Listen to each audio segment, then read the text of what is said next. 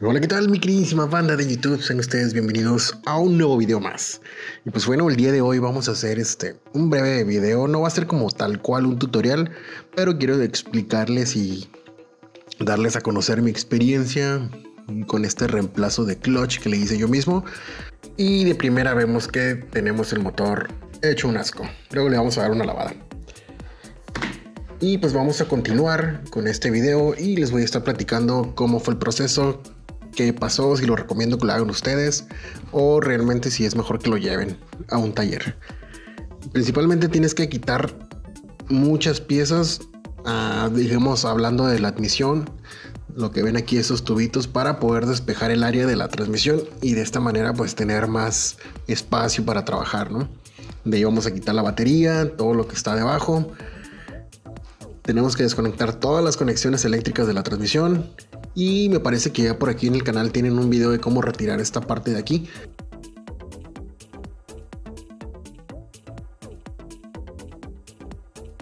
Aquí tenemos el soporte de la transmisión. Puedo retirar esa tuerca que se ve en la parte de en medio, digamos, para poder liberar lo que es todo el soporte. Como les comenté, tenemos de este lado el, el arranque, que una vez que lo retiré yo aproveché para hacerle pues digamos que una limpieza general y un poco engrasado. Lo limpié, le quité todo el mugrero. Y pues por aquí están los tornillos. Realmente solo son tres tornillitos. Se los voy a poner ahí con un circulito para que puedan verlos. Realmente está súper sencillo. Son esos tres por aquí. Esos dos de arriba y el de medio que es con el que ya retiras completamente. Y en la parte de la conexión de arnés solo son dos tornillos. Me parece que uno es 12 milímetros y el otro es 8. Entonces con eso ya queda totalmente liberado el arranque.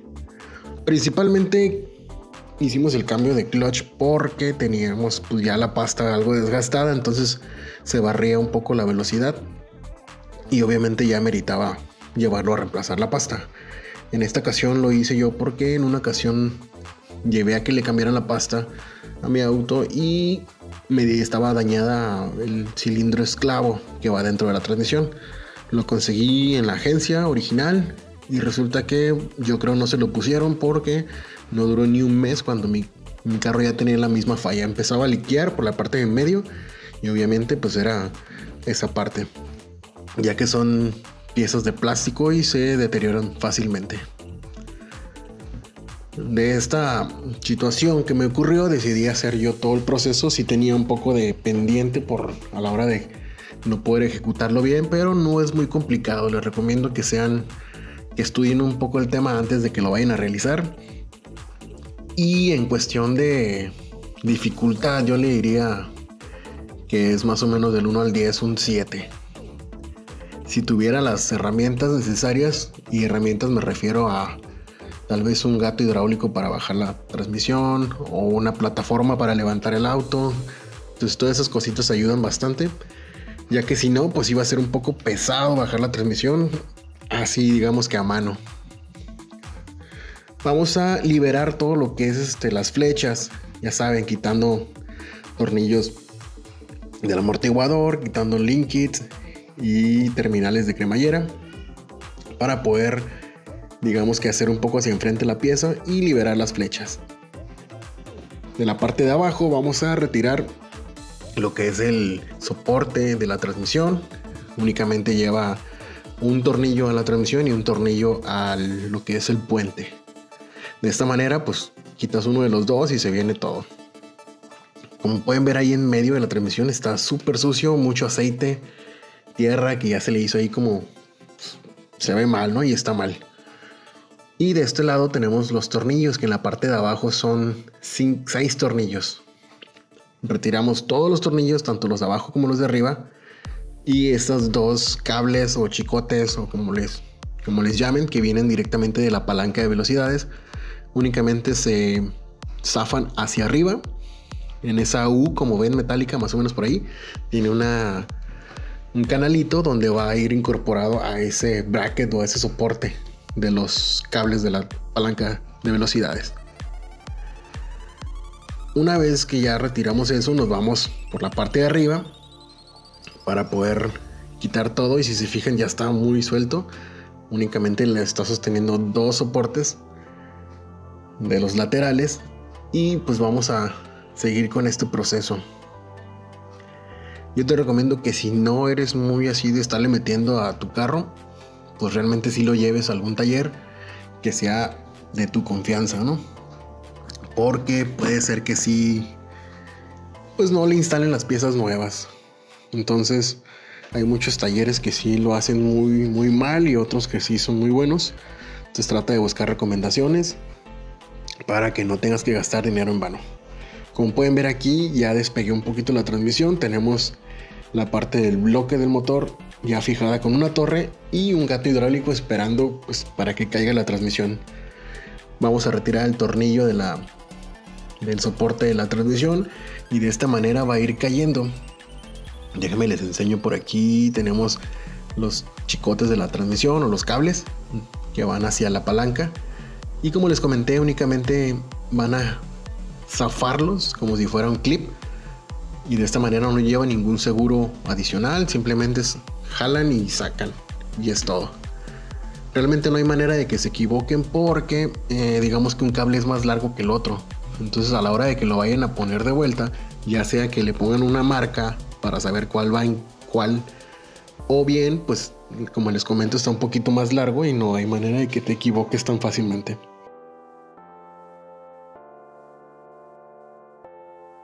quitamos la manguera del clutch donde vienen las líneas del aceite y yo le puse por aquí una pinza con un cartoncito para que no salga tanto líquido de, frenos que es el que se comparte con el clutch y de esta manera no tire tanto a la hora de que lo desconecte.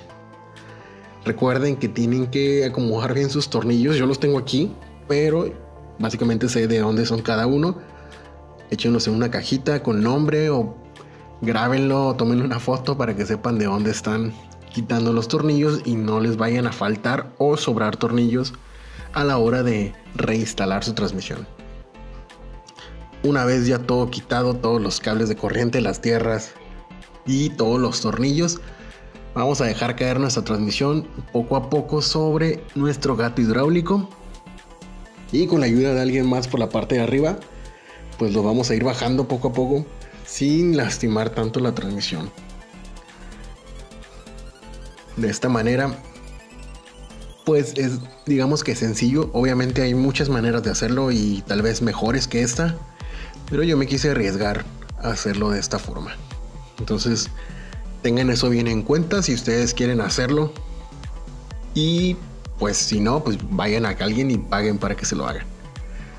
En mi caso yo cometí un error, o no sé si sea error, le quité las flechas y empezó a tirar todo el aceite de la transmisión. Entonces tuve que comprar más aceite para hacerle el cambio. Digo, ya le tocaba su cambio de aceite de transmisión, pero no estaba planeado en mi presupuesto. Así que ni modo, tuve que desembolsar 2.300 pesos más para poder comprarle el aceite. Una vez que ya bajamos la transmisión, si se fijan, yo lo amarré aquí con un lazo y de la parte de arriba lo sostuvieron y yo lo iba bajando poco a poco. Y esa es la pieza que se nos dañó, la que hizo todo ese cochinero ahí en el, pues adentro de la campana, ¿no? Y la que estaba fugando aceite. Es el cilindro esclavo, este como les comento son de plástico y son piezas que suelen desgastarse bastante. Por lo tanto, pues vamos a hacer la reparación y vamos a hacer la limpieza de todo lo que es la campana y en sí toda la transmisión ya que si lo vamos a subir y vamos a poner piezas nuevas, pues no me gustaría que subirla tal cual como la bajamos, ¿no? Toda mugrosa y pues con desengrasante eh, para motor. Yo usé un poco de gasolina también, entonces con una brocha vamos a ir quitando y limando con un cepillo de alambre. O sea, fue un proceso largo, ¿no? Largo, pesado a la, por, porque batallé mucho tiempo para limpiarla. Eso también tienen que tomar en cuenta. Ya de ahí, pues lo demás fue muy sencillo. Poner y quitar piezas nuevas por viejas. Perdón, viejas por nuevas. Entonces de esta manera vamos a proceder a limpiar todo. A retirar lo que es la prensa. Y si se fijan en la parte de atrás, vamos a, ver ahorita el estado de, de lo que es la pasta. Que esta pues es la que hace la unión entre flywheel y la prensa. Se fijan, ya está desgastadilla, ya llegó casi un poquito al metal. No tanto porque todavía agarraba, pero ya, ya estaba casi en las últimas. Y como esta pieza es realmente la que salió de agencia, esta que ven en pantalla, pues por eso decidí comprar el kit de clutch completo donde viene esta pieza totalmente nueva.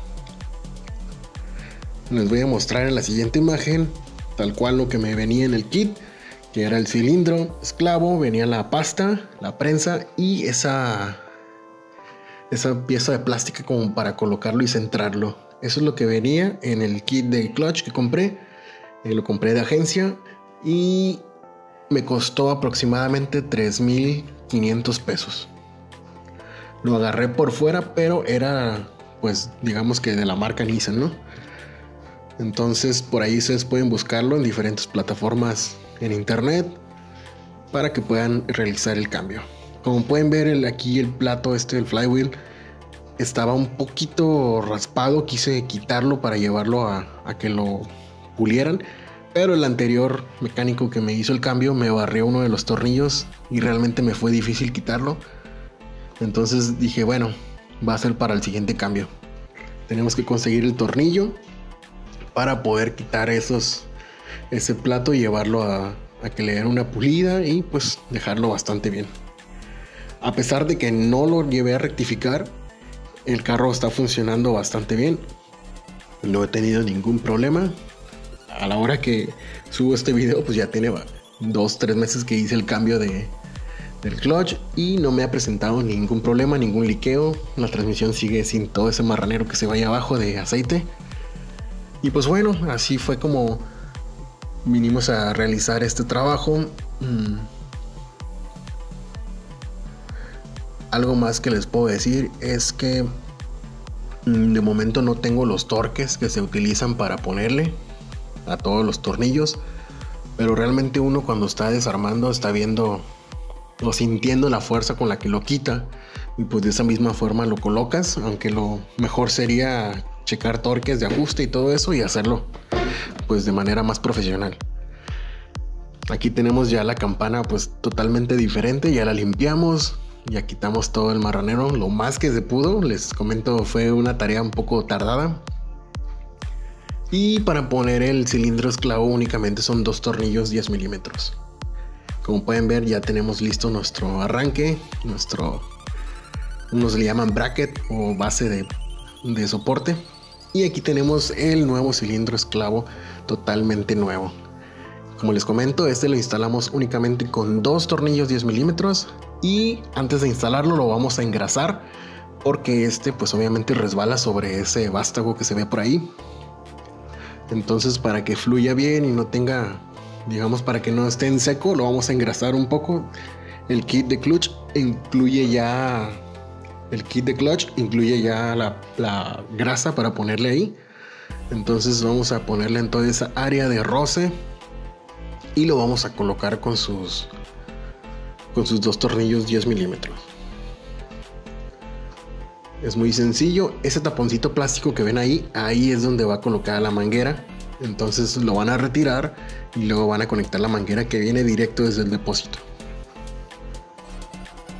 De esta manera es muy sencillo colocarlo y como les comento realmente todo el proceso no es tan difícil, es un poco tardado y se complica a la hora de subir la transmisión porque pues obviamente no tienes el espacio suficiente ya que el carro está ligeramente levantado.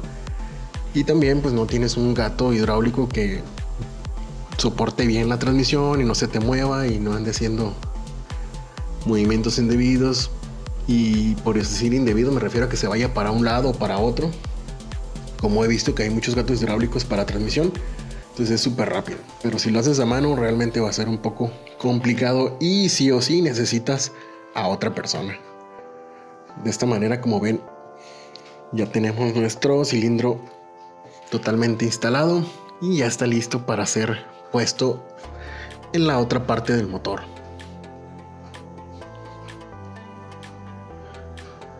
Ahora nos vamos directamente a lo que es el, bloque del motor. Ya colocamos el clutch. Recuerden poner primero el centrador y luego van a poniendo los tornillos el ajuste es cruzado, ya saben, si ponen uno arriba, pues ponen uno abajo, uno a la derecha, uno a la izquierda. Y de esta manera pues van colocando todo ahí. Y de... Y pues ya no queda nada más este, que hacer que poner todo de vuelta para atrás. O sea, poner todo en su lugar como estaba. Ya tienen el video de cómo quitarlo. Pueden hacerlo de cómo... Pueden repetirlo, digamos, en, en reversa y le van a ver cómo se pone de vuelta todo. Y listo. Ya tenemos centrado nuestro, nuestra prensa, todos los tornillos ajustados. Y pues no queda nada más que poner nuestra transmisión. Ya saben, los tornillos los vamos a poner cruzados. Así va a ir el ajuste. Y primero hacen un apriete ligero y ya después lo van a apretar bien. Les voy a investigar los, los, los torques de, ajuste y probablemente se los ponga ahí en la, en la caja de descripción. Ya saben que si tienen alguna duda en la cual yo les pueda ayudar, con todo gusto déjenme sus comentarios en la parte de abajo y les estaré respondiendo lo más pronto posible. De antemano, muchas gracias a todos por ver este video, gracias a la gente que le da like, se suscribe, ya saben que eso ayuda bastante a uno como creador y pues nos motiva a seguir haciendo más videos para ustedes. Sin más, los dejo con estas escenas finales. Les comento, cero falla, nos quedó bastante bien el clutch, pero no lo volvería a hacer yo, la verdad sí pagaría a un buen taller para que me lo realicen. Entonces, ya es decisión de ustedes. Aquí los dejo y nos vemos en un próximo video.